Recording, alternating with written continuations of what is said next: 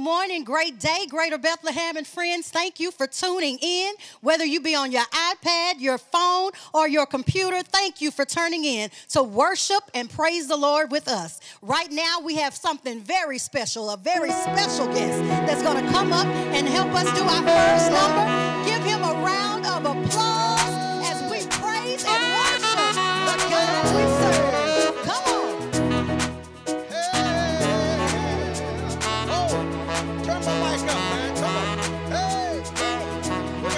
song. Tell the Lord, you are so good.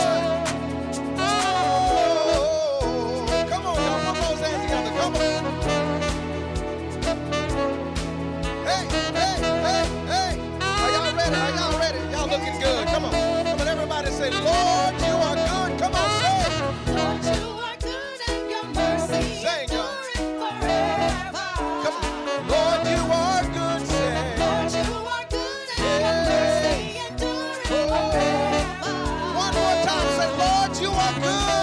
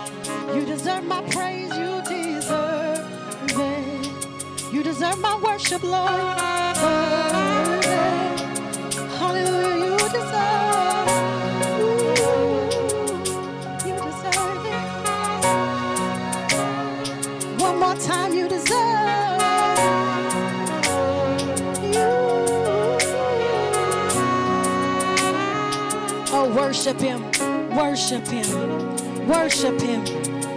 Hallelujah. I don't care what the situation is, I don't care what you're going through.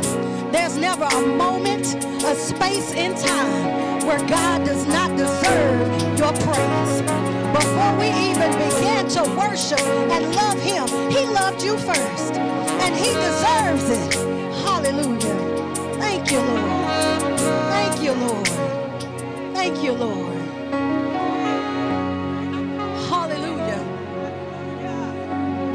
Close our praise and worship with this old little simple hymn. It simply says,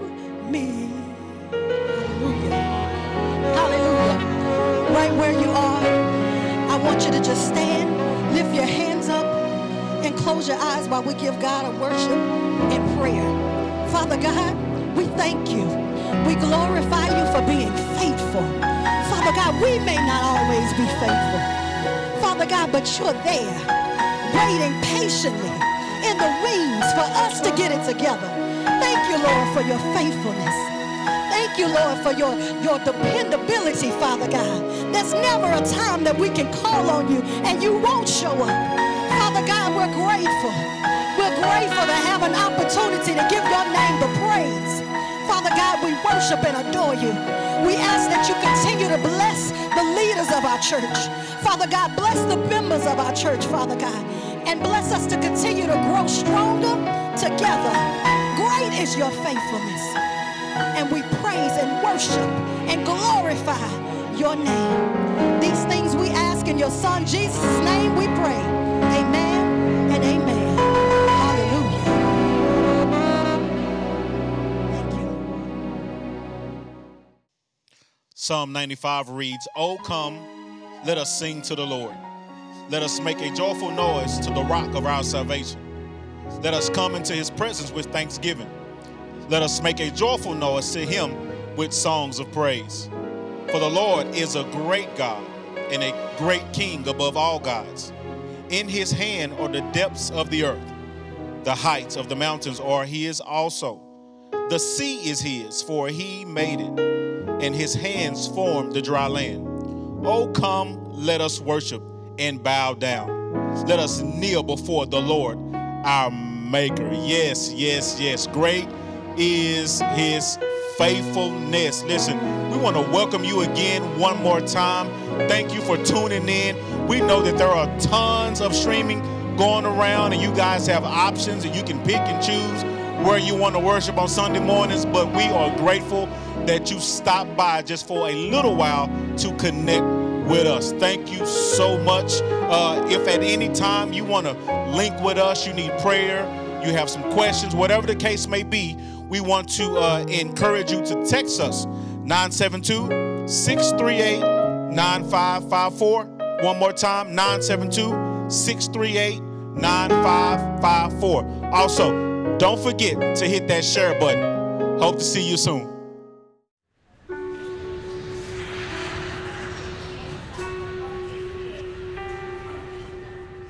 The way of the world, the familiar, the routine, drifting toward the same ends, heading off in the distance, as if there was no other way. But when you meet Christ, you realize there's a different direction. A guide that invites you on a countercultural pilgrimage. You find a sweet harmony in conversation, in step with Him. You realize the blessing that it is to be near to Him. He asks you to drop everything to follow the path toward Him. And while the walk is certainly not without its challenges, you are not left unattended. But it's easy to lose focus. It may not be intentional, but if you're not disciplined to move, the gap can widen and you'll become used to your callousness. He desires to have you close and you remember how pleasing it is. But the affairs of the world can become rather overwhelming. And there are times when you feel trapped, times when you get preoccupied, distracted, pushed, pulled, bogged down. And you realize the instant that you're not actively moving toward him, you're moving away from him.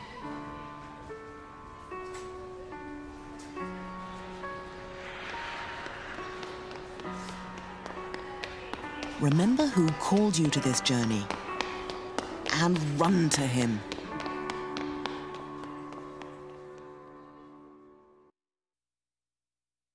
Welcome, GBBC family and friends, to the time of the Word. We praise God for our praise and worship team and for everyone that's behind the scenes, y'all. We have a crew here, and I really want you to pray for them and just lift them up before the Lord because uh, they do it in their own time, their own expense. And so we're grateful for these men and women who serve so faithfully. Now it's time for the word. We just finished our Family Matters series. Wow. I pray that was a blessing to you. We're going to make sure we get those up to our audio podcast this week. And we got a lot of sermons we got to reload into the audio podcast. But listen, Corona hit and a whole lot of stuff kind of came unhinged. But we're going to get back to our audio podcast as well. Thank you for those of you who joined me on Wednesday night for Pastor Brown going live, that was my first time just doing a straight up live Bible study. I sometimes pre record those, but hey, we're going to go live going forward and praise God for your presence with me on this past Wednesday. Now, Let's get into the word. This is a standalone sermon. We're preparing for another series coming up beginning next week as we head towards Pentecost. But this is a standalone sermon. The Lord led me here to Psalm 1. Find Psalm 1. And as you find Psalm 1, I want you to look at your screen closely. We're going to see if I can get somebody to zoom in. Y'all, uh, life is changing, it's, it's filled with swift transitions. Y'all, look at your pastor. Help me, Lord Jesus. Oh my God, I got glasses on, y'all. These are these are just readers. These are because I, I can't see the camera, but but uh, I can see my scriptures in front of me. Amen, somebody. So Psalm 1, those that found Psalm 1 say amen. I hear you. I hear you. You can type amen in the comments. Here is the word of the Lord.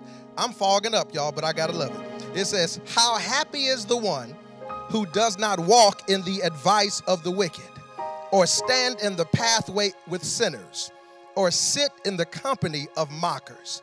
Instead, his delight is in the Lord's instruction, and he meditates on it day and night. He is like a tree planted beside flowing streams that bears its fruit in its season, and whose leaf does not wither. Whatever he does prospers. The wicked are not like this. Instead, they are like chaff that the wind blows away. Therefore, the wicked will not stand in the judgment, nor sinners in the assembly of the righteous. For the Lord watches over the way of the righteous, but the way of the wicked leads to ruin. I've wanted to do that for like 25, 30 years. Take my glasses off after I've read the scripture. Amen. Y'all better laugh with your pastor. Amen. Today we're going to talk from the subject back to basics. Back to basics. Right where you are, bow your heads and close your eyes. Father, in the name of Jesus, we, we come to you at this preaching moment, asking, Father God, for your spirit, your power, your wisdom, your truth, that you'd speak to us right now, Lord God. Allow us to see ourselves as we examine this text. Allow us, Father, to make some observations and some interpretation, but then to walk away with some specific applications for our lives. Father, we are grateful for the season you have us in because you've taught us in your word, specifically James, to rejoice in the midst of all types of trials. Father, this is an unusual trial that we've been in, sheltered in place. cut off from each other physically, but not emotionally and spiritually, even digitally. Cut off, Father God, many of us from work and bringing in income. Cut off from the day to day routines that we're so accustomed to, both adult and child. So, Father, in this season, we're giving you thanks. We're trusting you. We're loving you. In Christ's name, we lift all of this up to you now. Amen. Amen. Give God a little praise right where you are. Right where you are. Amen. Here is here is the big idea for today's message. The happy life awaits you. The happy life awaits you. During this season of homeschooling, I have found myself doing a lot of schoolwork, both instruction and guidance and supervision. Well, the other day I helped Simone with a specific assignment on hibernation. Yeah, first graders are studying hibernation. And, and then I, in, in my studying with Simone, I discovered that hibernation is the state of inactivity. I need you to catch that. It, it refers to a season in a certain animal's life, which is characterized by low body temperature, slow breathing, and slow heart rate, and a low metabolic rate. So these animals allow themselves to be placed in a confined space for the purpose of renewing their strength. I'm preaching already, y'all. So, so after the season of hibernation has concluded, these animals come out of hiding stronger, better, leaner. Watch this, meaner. See, they self isolate so that they can live better animal lives lives. Oh, beloved, that's that's what we're dealing with right now. And so I'm here to ask you the question as you have been self-isolating, what will you look like when you finally come out? Oh, I need a witness up in here. What what will you look like? Now, I'm not talking about projects around the house. I'm I'm not talking about the fact that you're cooking more and spending less, but I'm speaking specifically to your spiritual life. What will your spiritual life look like once you come out of hibernation? See, as we hibernate, we ought to use this time to draw nearer, to, to get better, and to get back to the basics of the faith. See, what I don't want you to do, beloved, is to reflect on this season and just see one extended Netflix binge. Use this time, whatever you have remaining, to be used so that you can ensure that you're living the blessed life, so that you are living the happy life. So Psalm 1 is one that presents a choice. It's there's a choice presented in Psalm number 1. Righteous living versus wicked living. Now I got to talk about it because the text talks about it. See, if if if this shelter in place has done nothing, it has slowed every one of us down, allowed us to not only self-quarantine, but more importantly, to self-examine. Beloved, this is where the rubber meets the road. You have a choice to edit your life experience so that you can embrace happy living.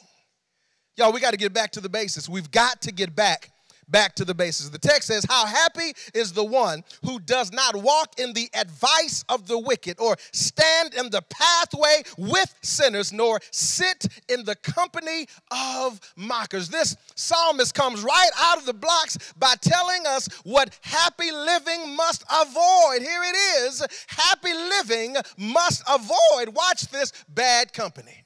Oh, avoid, avoid bad company. I've, I've, taught you before about this text and the progression of this text. Walking leads to standing, which leads to sitting Oh, I like that by myself. Watch this, y'all. The more attention you give to bad company, the more at home you will feel with bad company. Oh, God, let me say that again. The more attention you give to bad company, the more at home you will feel with bad company. So when we follow the advice of the wicked, y'all, we end up living and looking like the wicked. What makes wicked, wicked, wicked folks live as if there is no God? Oh, beloved, and I don't ever want you to, to have that on your shoulders. So I really want you to use this time now, this shelter in place, for you to get back to the basics. Oh, avoid, avoid, avoid bad Come See somebody here, you're watching, you're listening, and that's your foundational step. That's where you have to begin examining the very ones who you keep company with or the ones who keep your company. I like that. Let me give you a testimony. See, uh, I used to falsely believe that I could listen to any kind of music and it not affect my behavior. Uh, and that's, that's something I just believe, and I was sadly mistaken because I, I soon discovered that whenever I was driving and listening to uh, this, this certain kind of music, you know, with, with the parental advisory on the, on the album cover, that's what we used to call it, young people, album cover, CD cover, D, yeah, that's, that's enough. All right. And, and so anyway, I'm listening to this music with parental advisory. And I never even realized it, but as I'm listening, my foot began to get heavier on the gas. I began to drive faster and faster and faster. And y'all, that's just an illustration that I discovered that unconsciously what I was listening to began to affect how I lived. Oh God, this this is what bad company will do to us, beloved. Well, we'll find our lives at a certain pace and place. And as a consequence, we'll find ourselves in unsafe territory. Why? Because the ones keeping our company are wicked. Tom Constable puts it this way he says uh, in this text, they proceed from being casually influenced by the ungodly to cooperating with them in their wickedness.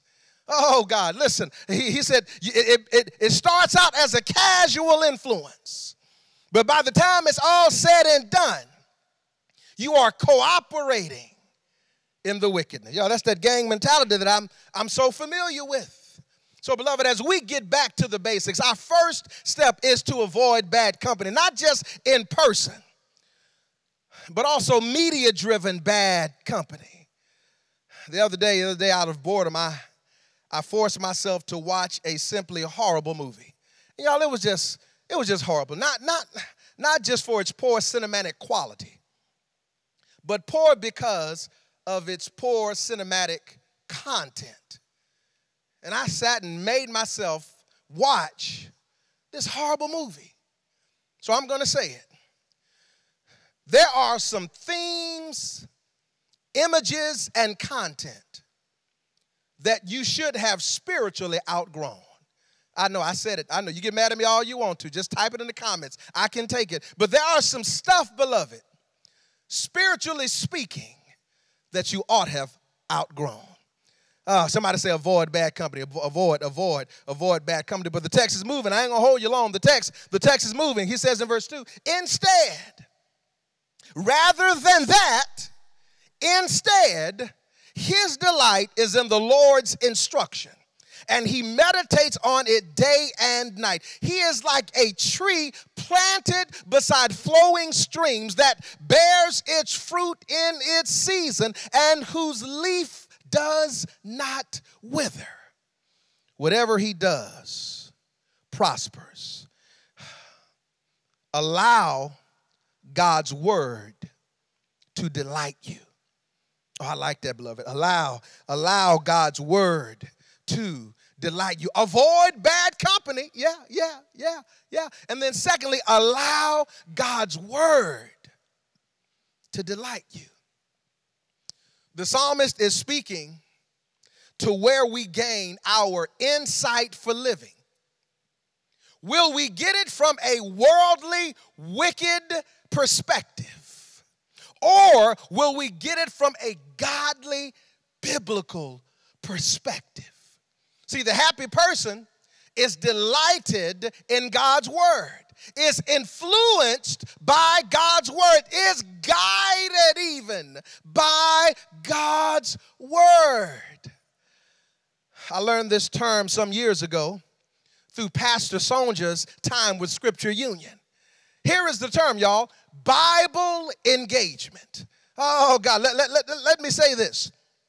There is not one issue that we face that scripture does not address. Oh, I need a witness up in here. And and and you got to understand and begin to value God's word in your life. Hebrews the 4th chapter, let me call the roll. Says for the word of God is living and active, sharper than any two-edged sword, piercing the division of soul and spirit and of joints and of marrow and discerning the thoughts and intentions of the heart. Matthew 4 and 4 says this but he answered, That's Jesus, it is written, Man shall not live by bread alone, but, but by every word that comes out of the mouth of God. I've got two more. Second Timothy chapter 3 16 says, All scripture is breathed out by God and profitable for teaching, for reproof, for correction, and for training in righteousness. And then Ephesians, the sixth chapter, verse 17, puts it this way and take the helmet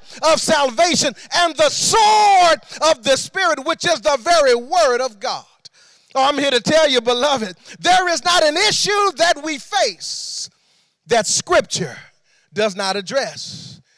Text says, Oh, help me, Holy Spirit.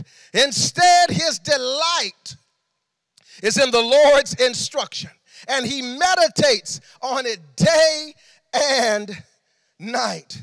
The root of the happiness in verse 1 is revealed in verse 2. His or her delight is in the Lord's instruction. The more word we get, the more word we'll want. Oh, let me say that one more time. The more word we get, the more word we'll want. So if we desire the harvest of righteousness, we must plant the seeds of instruction. Oh, God, I'm feeling this, y'all. So, verse 2 offers us a stark contrast to engaging bad company, which is Bible engagement. Verse 1 shows us the progression of wickedness, and verse 3 shows us the progression of righteousness. Oh, but how do we get there, Pastor Brown? How, how do I get to this point where I'm really allowing God's word to be a guide to my life? Here it is, y'all. It begins by, first of all, being taught. I'll look at your neighbor and say, being taught. Listen, the, the text is clear. The text talks about that, that you are, are, are embracing the instruction of the Lord. And so that's why we're grateful to have sound, strong biblical teachers at Greater Bethlehem. You got to be willing to be taught. But see, some of us stop there. Oh, God, we get the word, we get fat spiritually, but we never do anything with it. Oh, let, let me keep pressing. Being taught is one thing, but then the second phase is being consistent. Oh, God. In both engaging the word and in living out the word. Being taught. That's so important. Make yourselves available for the instruction of the Lord. But then, secondly, being consistent. Engage in the same word and enacting that in your very life. See, I've discovered that spiritual maturity will never come by accident, it does not happen haphazardly. And coming to or streaming our church services does not make one mature being taught in the Word of God and being consistent in engaging with what you're being taught. Simply put, you have to apply the Word of God to your life. Yeah, you got to apply it. So if the Word of God says be holy, you got to be holy. I need a witness up in here. The Word of God says to serve, you got to make yourself available to serve. If the Word of God says to be reconciled, you got to say, I'm sorry, or you got to say, I forgive you. You can't just have the Word and not apply the Word. You cannot reap the dividends as mentioned in this text. He is like a tree planted by streams of flowing water. Philip Brooks puts it this way He said, The Bible is like a telescope. Check this out. The Bible is like a telescope. If a man looks through his telescope, he sees worlds beyond. But if he simply looks at his telescope, he doesn't see anything but a telescope. Oh God, the same thing with the Bible. He said, the Bible is a thing to be looked through to see that which is beyond. But most of us, we just look at it. Oh God, looking at the dead words and not seeing through the meaning of the text. Y'all, we have to allow God's word to delight us. Oh, I'm moving forward. I'm moving forward. Verse 3, verse 3 is that he is like a tree planted beside flowing streams that bears fruit in its season and whose leaf does not wither. Whatever he does prospers. let's, let's, let's, let's stack these up. Uh, uh, uh, um, allow, allowing God's word to delight you, being taught, being consistent, but then thirdly, being blessed. Oh, God, being, being blessed. Notice the imagery fruit is right there in your text. I don't care what, what version you're, you're using, the same word is used fruit. Fruit. Fruit in biblical imagery is what is visible, what is evidenced to other people. It is not hidden within the person. How? So, so the blessings connected to being delighted in God's word involve certain things. While I get to those, let, let, let, me, let me just pause for just a second because we're talking about fruit. You know, one of the key indicators that you have been converted? Fruit. Oh, God. And so you, you're in this shelter in place. What a wonderful time to just spend examining your fruit, examining how you present yourself to others on your job, to your family, in your neighborhood. Examine your own fruit. But then humble yourselves and ask somebody to examine your fruit. Ask people, what do you see in me? How do you see me walking out my faith day to day? So the blessings connected to being delighted in God's word involve a few things right here in the text. Number one, there is a harvest. And that harvest takes place at the proper time. Let, let me cut across field because I don't want to hold you long, but let me tell you something. There is a harvest that we can look forward to that is directly connected to the seeds of instruction that we're planting. A harvest, y'all. I want you to get your minds off the temporal and begin to think eternal. See, I, I, want the things that I can't get on my own. That's the things that God can give to us and provide for our very lives. A harvest, but not only a harvest at the proper time. Secondly, healthy living. Healthy, healthy living. He said, whose leaf does not wither. Healthy living. That is both internally and externally, spiritually and physically. Leaf doesn't wither. Now, y'all, y'all have heard me say this many times. It is, it is disheartening to have somebody that's 60 that looks 90. Yeah, I said it. This, it's disheartening to have somebody that's 16 that looks 36. And y'all, essentially what begins to happen is this, y'all. We're not we're not sowing seeds of instruction so we cannot look forward to healthy living.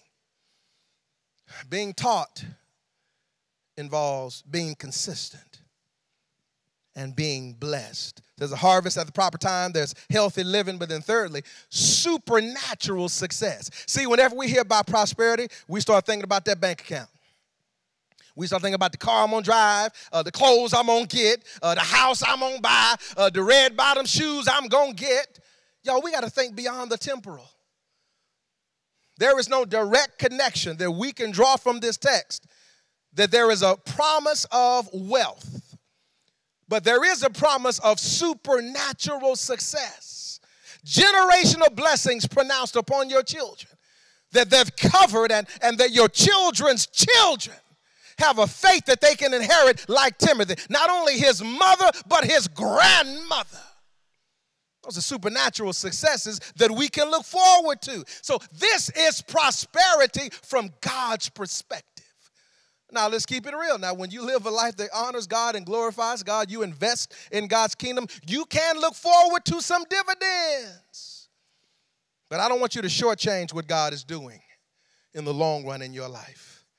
Oh, God, I'm finished. Avoid bad company. 23 minutes, avoid bad company. Secondly, allow God's word to delight you. Finally, verse 4, he says, The wicked are not like this. Another contrast. Instead, they are like chaff that the wind blows away. Therefore, the wicked will not stand up in the judgment, nor sinners in the assembly of the righteous. For the Lord watches over the way of the righteous, but the way of the wicked leads to ruin. Let's deal with the, the consequences from verse 1 first, because they're given right here in verses 4 and 5. The wicked will not end well.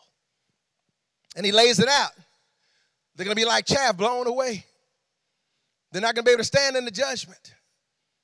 They're not going to be able to gather in the assembly of the righteous.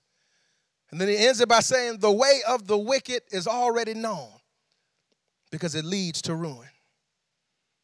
Y'all, I, I, I know the wicked look cool. I get it.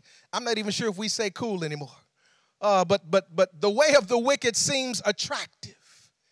But I'm here to tell you those that believe there is no God, they are not to be emulated or followed. And y'all, we've got to turn this uh, toward the people who are really worthy of being followed. Those men and women of our faith who have gone before us, and some still stand with us right now. These are the ones to be emulated. No, they are not perfect, but they're striving for protection. So the consequences from verse 1 revealed in verses 4 and 5. But here's our final point, and we're, we're wrapping this up we can look forward to experiencing God's presence and his protection. Avoid bad company. Allow God's word to delight you. But then, thirdly, experience God's presence and protection. The text says, The Lord watches over the way. The very presence of the Lord watches your coming and your going. The very presence of the Lord is faithful and present in the lives of his children. You are not alone in this, beloved. You are not by yourself. God is a very present help, and his presence makes all the difference in the world but not just his presence, his protection. The Lord has a way of looking out for you. Have you ever looked back over your life? Oh, God. And at some point, the Lord had stepped in without your knowledge and helped you to avoid what could have been the worst mistake of your life. Do I have a witness up in here? That is both his presence and his protection. And child of God, you got to know and believe that God has got your back. You got to know and believe that God is looking out for you. You got to know and believe that he is looking out for your way, says the text.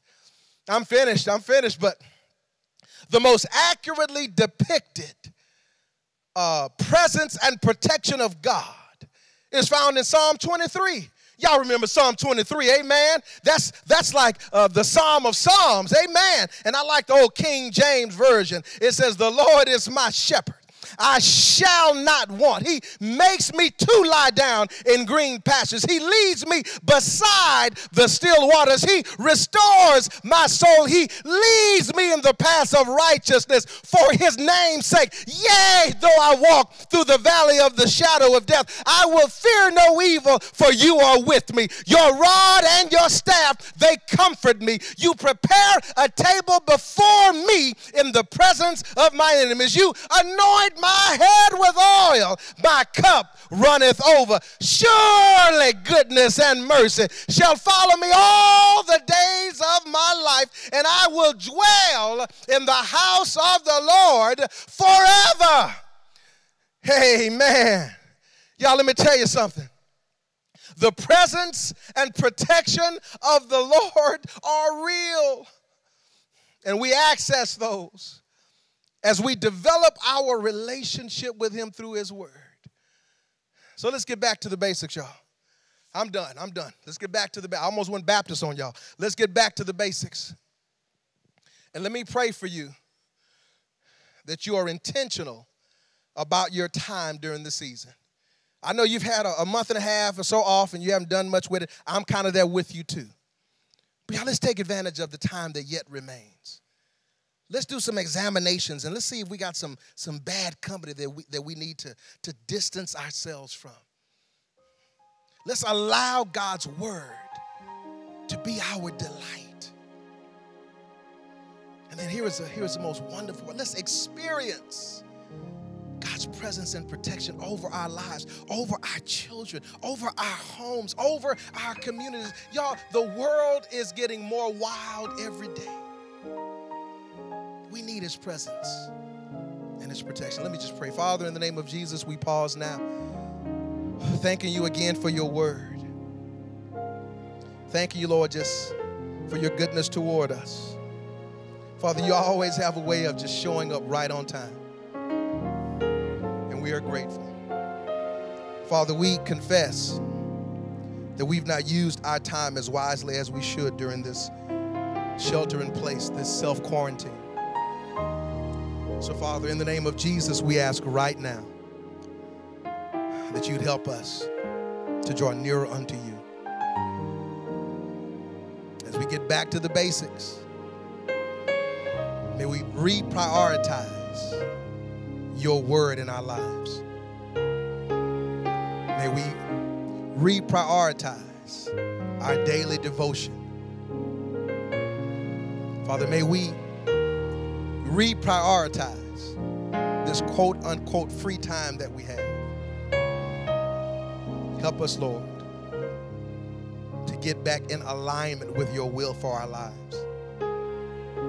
Being taught the Word of God, being consistent with the Word of God, and being blessed as a result of our Bible engagement. Lord, don't let us come out of shelter in place looking worse than we went in. Help us to be like those animals in hibernation Help us to shed a little. Help us to be strengthened in some other areas. And help us to come out with our leaves not withering. We thank you, we glorify you, and we bless you in the name of Jesus. Amen. Come on, give God a little praise right where you are. Come on, right where you are. Come on, put a hallelujah. Put a hallelujah in your chat box. Come on, put a hallelujah in there. Come on, come on, come on, come on. And we're going to follow up on Wednesday with some specific things that we're going to do uh, as a church and a faith community. You're more than welcome, even if you're not a member of our church, to join us on Wednesday night. I'm going live, live again, y'all. Live, live. Amen. Well, listen, uh, I want to just take a moment here. I want to be sensitive to your time, but I want to just take a moment. And I want to invite you to experience new life. I want to invite you to experience life eternal and life abundant we learned that the Lord Jesus Christ came to earth for the sole purpose of being a sacrifice. Yes, he came to perform phenomenal miracles, which he did. He lived the perfect life because he's both God and man. His ultimate fulfillment, though, was to be a sacrifice. So, y'all, we had a sin debt that had to be paid. And there's nothing we can do to bridge that gap. We used to try sacrificing animals and, and all types of things and doing all types of rituals. But Jesus has come, and his death has paid the price for all of that. So he came from heaven to earth for the purpose of being born to die. He was falsely accused, and he was crucified, he was killed. And that death that shed blood on that cross of Calvary, it paid the price. And so, with resurrection power, He makes available for us to receive this gift, this payment that we do not deserve. It's simple prayer or just an attitude of your heart, declaring, Lord Jesus, I need you. I thank you for dying on the cross for my sin. I open the door of my heart and I receive you as my Savior and Lord. Please, Lord, come into my life and make me the kind of person you want me to be. According to your word, I am saved. In the name of Jesus. Now, if that speaks anywhere near to where you are, in your own words, just, just speak to the Lord even now. And what I really want you to do is to follow up with us. Allow us to serve you. There's a number right there on the screen. Text your name and whatever you're dealing with to that number.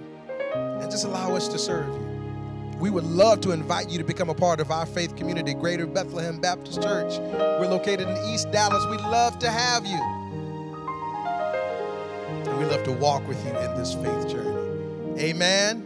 Amen. All right, one more hand of praise. Come on, praise God, beloved, right there. Put a hand clap in your chat feed. Come on, come on, come on. Because guess what? It's time for the offering. Yay! The offering. Four ways to give.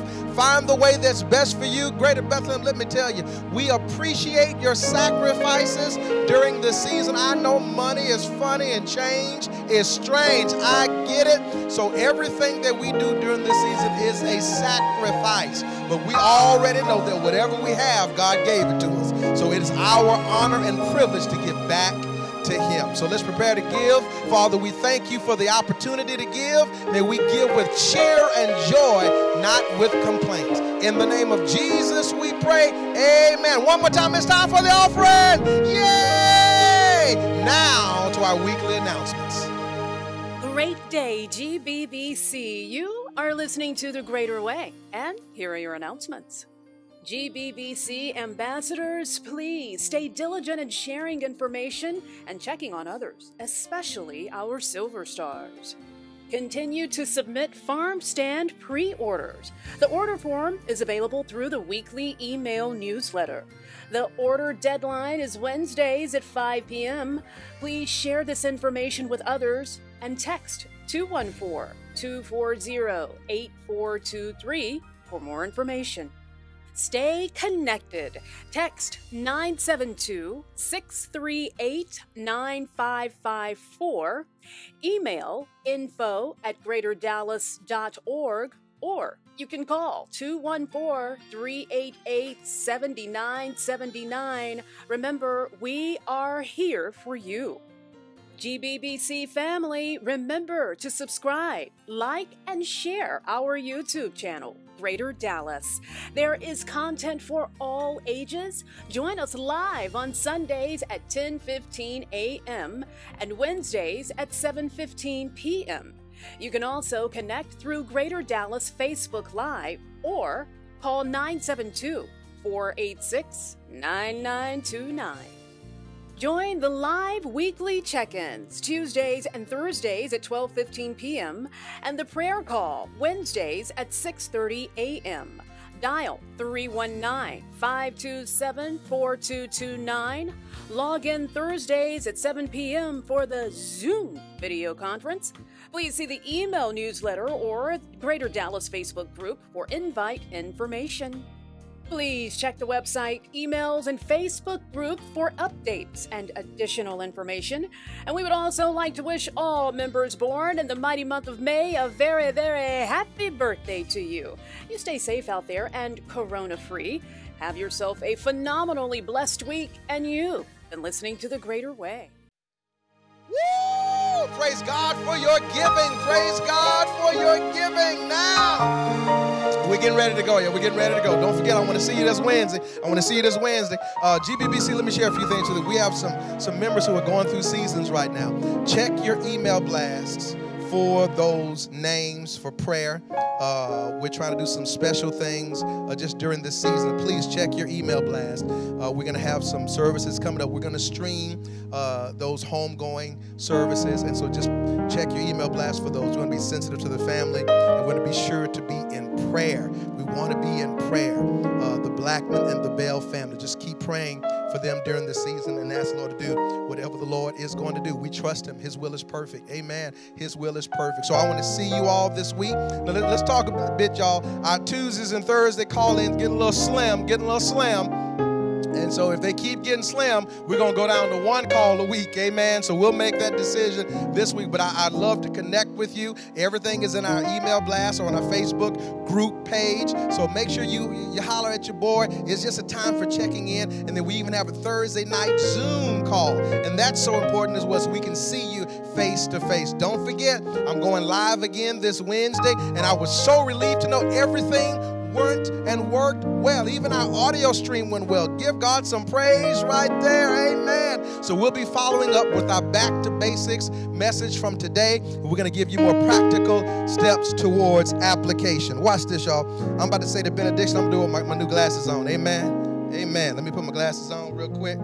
Come on, y'all. You ain't, you ain't got nowhere to go. Where you going? You ain't got nowhere to go. Stay right there. Hold on. Hold on. Here we go. Oh, yes, that's it, y'all. I can't see nothing. Praise the Lord. Hope I don't fall off the ledge. All right, right where you are, bow your heads and let's pray to the Lord. Father, we thank you so much for your goodness, Lord. I'm grateful for these men and women who are here serving and supporting. Grateful for your presence in our lives. Father, as we seek to use our uh, uh, uh, habitation time, uh, hibernation time for your glory, Father, I pray that you would speak to every single one of us. Father, it's not about projects around the house, it's about projects in our heart. So, Father, help us to get back to you, back to your word. Help us to avoid the bad folk, Lord God. And it's not just people, it's media, it's images. Help us, Lord, to allow your word to, to, to just delight us and then to experience both your presence and your protection. We hide these truths deep down in our heart and we say, May the grace of the Lord Jesus Christ, love of God, communion of the Holy Spirit be with each of us until we meet again. Let everyone say, Amen, say glory, say hallelujah, and we'll see you this week. God bless, beloved.